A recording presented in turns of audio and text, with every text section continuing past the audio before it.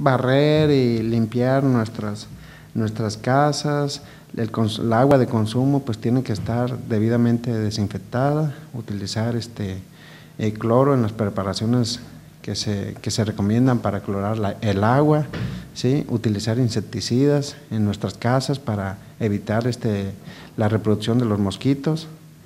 y este, el lavado de manos antes y después de ir al baño, antes de comer, estar vigilando la, la preparación de los alimentos, eh, que sea debidamente higiénica,